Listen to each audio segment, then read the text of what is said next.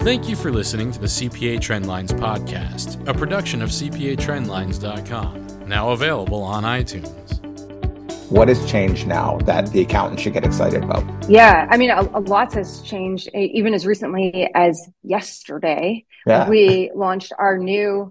Um, actually, so the day before we launched, two days ago, we launched collaborative accounting. Yesterday, we launched um, a more detailed profit and loss statement. So um, ah, we are okay. definitely in this flow of of evolving the platform to better support accountants. Our biggest launch this year for accounting features, accounting features, was the Accountant Hub. So this was officially the July. dashboard or the place that was the end, very end of June. Yep, yep. Yeah. And so um, that was the place where now you can set up, manage, and um, and really work with your clients inside of a single in a, a single platform or single um, hub. We call it the hub. It's it's like a dashboard, right, where you can go in and manage and go in and out of clients and do that really effectively and efficiently, as well as set up new clients, all from this single place. Which we have intentions of continuing to add on to the hub for features. That's why we called it a hub and not, not a dashboard. We we've built that to be your source as an accountant, your source of all things that you need from resources through to the education, through to uh, the product itself, through to accessing support. We'll all be we'll be evolving the hub to be this single place where essentially it is a hub. That's where you go. Um, but things like you know journal entries, um, the like I said, financial statements. We've got integrations with uh, companies or software like Tally4 for uh, um, for doing tax returns at year end. Right, we have an integration so. with Syft, Syft Analytics if you want to do double clicks beyond the dashboarding that's already built inside of FreshBooks. Mm-hmm. Um, and, and the, the, roadmap is is robust, Seth, over the next few years. I'm super excited about what we're building, and we're building from a place of accounting partners. What do you need? Because yeah. you know, being an account myself and our head of VP that um, oversees our accounting features. He's also a, a, CPA. So you got two CPAs here inside of the inside of the org that's, to help guide the key. product. That's but we're key. still we're still going to the profession and to those who are earliest adopters to say, we think we know what you need next, but tell us. You're the users every day. Tell us what you need so that we don't miss the mark. We want to invest our our resources into the right places that are going to matter for accountants to help them really support their clients and embrace collaborative accounting and up level uh, their their firms with the platform that we're giving them. So that means we have to listen. We have to listen to their feedback. We have to keep shaping the product. The roadmap we have is exciting to us, but I'll tell you, if we hear that like, hey, don't build that. We need this first because this is affecting our workflows or could really make an impact inside of our firms great. Let's revamp the roadmap accordingly as best we can. We all know inside of technology that everything is kind of interrelated, but um, we we want that feedback. And if it's something that's in, in our blind spot, absolutely, we want that feedback. Uh, we're we're just in the beginning stages of really investing in the product further right, to make right. it a tool that accountants love to use. So, on that note, uh, in in all in all honesty and and this is something that i i've come to appreciate about freshbooks is you know definitely under you know during your time it's it has had this message of look we're not going to do anything unless we feel which again as you know as a software company as a technology company um the typical path has been like look we're we're hearing that accountants need these things so we're going to roll it out without necess- and then we're going to get some feedback maybe after and and tweak it how how they want to. You guys are kind of going in a way of a little that's a little more measured. A little it seems to me to be a little more we're actually developing a core network um and you can tell us about the pack uh on on that note of folks who are saying and really almost controlling the direction. Something very different, I think, for a lot of um, companies in the accounting software space, but something that I have seen that, and I've written about this, that is sorely needed to to progress. So tell us about how that you know basically tell us about the pack for those who don't know. Like yeah. you're an accountant out there, yeah. you you're it may be interested in knowing more about FreshBooks. It's not just, oh yeah, we have an accountant network and you know, you know, just you know, sign up and we'll, you know, we'll give you free stuff and we'll, you know, it's not quite like that, is it? well, we everyone likes gifts now and then, but uh, sure. but certainly there's more to it, more to it than that. and and um, again, you know, I think we're really fortunate here inside the company to have two CPAs that are really at the the head of the the program and the channel initiatives as well as the product initiatives. I think that that's that's something that um, you know, I'm, without trying to toot my own horn, I think it's something that that the company did really well to get like one of their users mm-hmm. really inside the company. But but we do know that um, everything changes really quickly, and we aren't sure. the ones that are serving clients day to day with the product and a book of business with the product. And so that feedback is important. We we actually take feedback from our entire um, partners uh, partner pool. It's not just from the partner advisory council. It, it's actually from the entire pool. What we do with our partner advisory council stuff is we take the feedback from to be honest, the profession at large, you you know that I I live inside of the profession um, a, a, lot of mm-hmm. my time because I'm constantly trying to listen uh, inside of like what matters to the profession now. Then, so that's like the, the, entire profession. Then we've got our partners that are using the product. Then we have our FreshPack inside of there where we're taking what we know from the profession, what we know from our partner base, and then, and also what we know from our customers, um, eh, the small business owners. And then mm-hmm. we take that sure. to our FreshPack and, and then we say, let's run this through the ringer. Let's scrutinize this. Let's test this. Tell us what you think of this product standpoint, um, program program standpoint, methodologies like collaborative accounting help us test, test, test these as much as we can. And you know, our, our advisory council is is very much forward thinkers. They're very modern in their practices. Some of them are very new to using FreshBooks. Some of them are very familiar with FreshBooks, and that's by design because we don't want to get, you know, uh, get too closed in on You've got power users. What do power users need? No, what do what do new users also need? Right. And so right. we're trying to really keep why am, why am I going to use this over something else? That and there's right, a lot so there's a lot of something else's out there. You know, back in 2003, there, there's lots of choice. There wasn't a lot. Right. No, there's lots of choice today. Accountants are actually overwhelmed with the choices Indeed. they have today. Yeah. And so um, there is lots of choice. So it, it is going from like messaging what what value proposition uh, in terms of like what what can we do for you that adds value to your fir- firm what can we um, do for education to support you with with change making changes or adopting something in your firm your clients what can we do for them and then inside of like, okay, you obviously need the platform in order to make all that possible, or for us to live up to what we told you that we would offer you and your firm from a value prop. So um, it, it's it's all the way through from the very first time you ever hear of FreshBooks right. through to I'm using this with a segment of my book of business that this is a platform fit for and and you'll you'll always hear me say FreshBooks isn't a fit for every client. Yeah. But we want to enable you to adopt a new way of working supported by a platform for the types of clients that it is a really good fit for. Who and, would you, who would you say that, that, part of your book of business? Yeah. So on that note, Twyla, who would you say is uh right now at least the best fit for in terms of like customer client base? Um, I've heard, you know, obviously you still have your core of, you know, service based, uh, businesses. Um, but yeah. who would be, you know, the ideal for FreshBooks at, at this point in its evolution? Yeah. And, uh, you know, I, it, we shouldn't stem away from, you know, you, as you're familiar with, who was FreshBooks originally a good fit for. And, you know, I think of like the self-employed or the, even the sure. side hustlers. Um, yeah. uh, FreshBooks was this is the message to get and, out there. And continues point. to be. And yeah, and continues to be. We, we still serve that, that segment of, you know, sure. it's really small, small, just getting started entrepreneurs or side hustlers.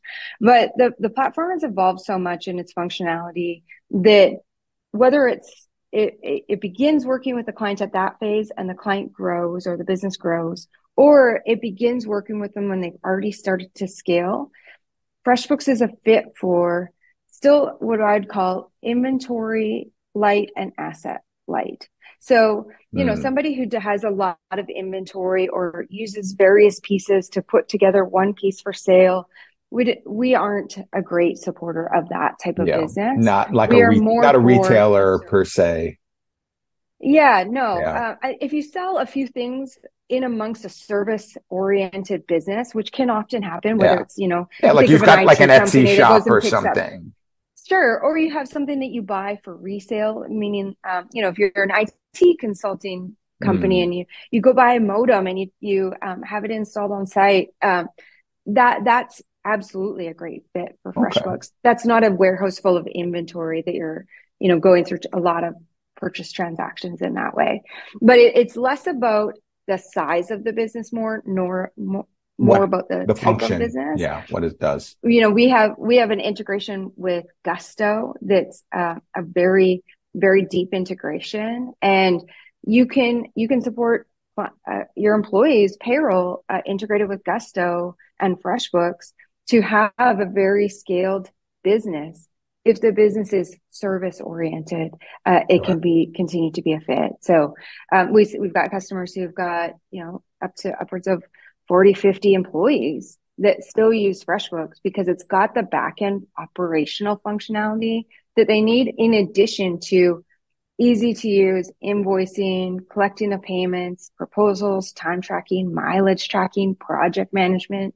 All of those features are very, very robust inside of FreshBooks and uh, very powerful pieces of the workflow for that type of business. So, um, uh, you know, I think it's it's great that we're we're starting to kind of chip away at. It's not just those side hustlers, those solopreneurs. It's yeah. really has evolved in its functionality to support a scaling business more well, that, so about the type of business than that size. message. Yeah, that message definitely needs to continue to get out there because, you know, accountants, while they have very long memories, they might be stuck on a memory from 10, 12 years ago. Final hard nosed journalist question for you, Twyla. And I know you have to jump uh, after this. What doesn't FreshBooks do now that you would like to perhaps see it do?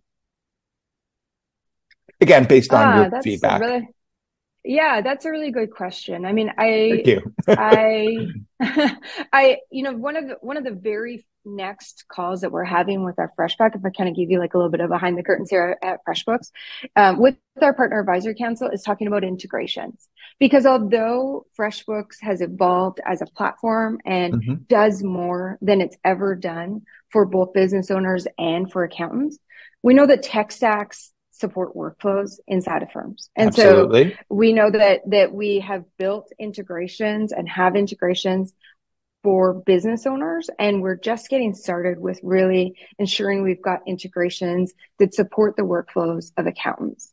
So um, the good news is we've got um, this on our immediate roadmap to expand our integration um, integration offering for accountants so that they can you know take the collaborative accounting workflow and make it their own in terms of what other maybe practice management tools do they need or some mm. other sort of um, tax uh, software that they need or even some sort of documentation portal that they really want to use in terms of like an an extra source of comfort that we've got all the documentation stored in various places. So Things really like that, being that, part of that tech stack. Yeah. So, yeah. so we've got some built already. We know that that's what's next. Now, can you get started with FreshBooks today? Use the collaborative model without having all of the the integrations you've already got with some of your other GLs.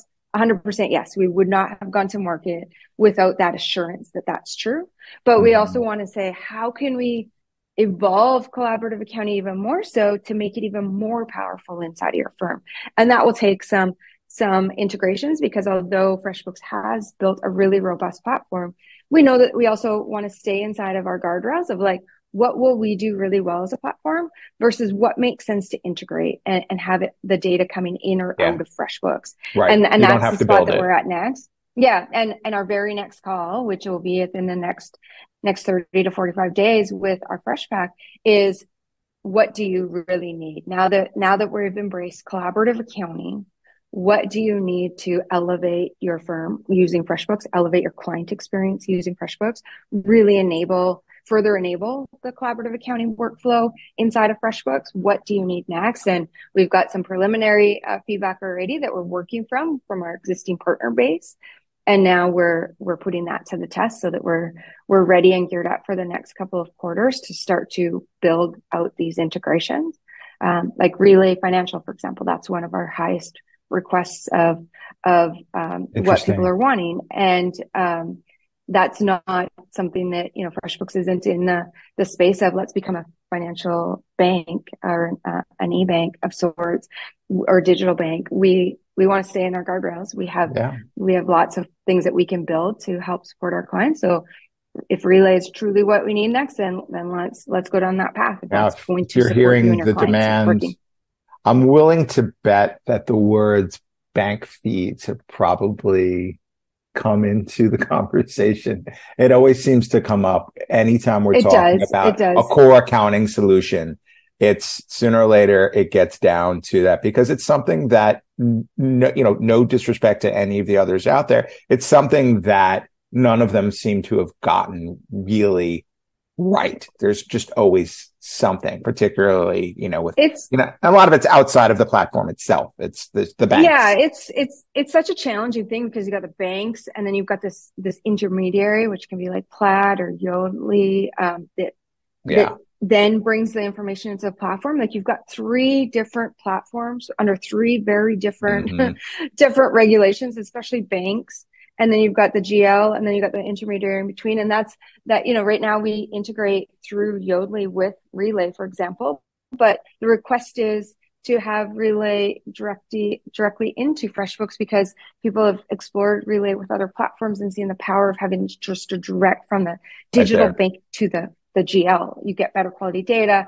The integration sure. um, connected more, right? Like there's there's pieces that um, that make the bank feeds more efficient and more effective and more accurate uh, yeah. because of that. So, um, so those are the types of things that we want to further refine. Is what else do you need to make this better, not change up the model because we've we scrutinized the model and we believe the model is the best model that that we could have designed and and can put into the profession to unlock advisory and and change the way you work with clients that is all enabled by the platform but there'll be things we can do to make it better and and whether that's integrations or something like a relay uh, for bank feeds or uh, enabling something else inside of that model. We're here for that. We we know that that's what's the next evolution is to continue to just make it a better experience for accountants and for the business owners that they work with.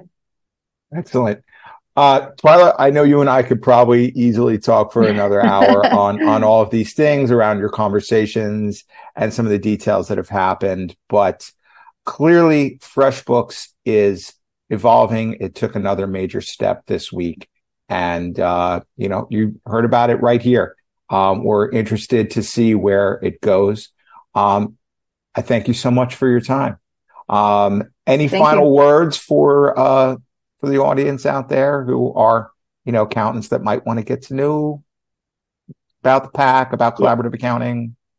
Yeah, yeah, I'd love I'd love to have people check out collaborative accounting, check, check out FreshBooks. If it's been a while or you haven't looked at it, you can go to freshbooks.com forward slash accountants and you'll find our accounting partner landing page there. Uh, from there, you can click out to another page about it's all about collaborative accounting. You mentioned uh, set the launch that happened uh, with collaborative accounting this week. Mm-hmm. That full full press release video, as you called it, uh, which I think is a good description. Uh, that that video is available now on YouTube for those who missed it. So um, I encourage people to check it out. And I say this time and time again, and and and I promise I will stop saying it once it's no longer true.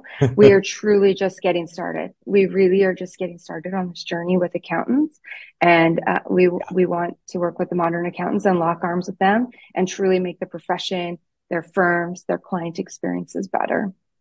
Excellent, Twyla always a pleasure to talk to you and uh, hope to see you out and about soon enough. Sounds good. Thanks so much, Seth. Appreciate chatting with you too. Have a great day. Take care. You too. Bye.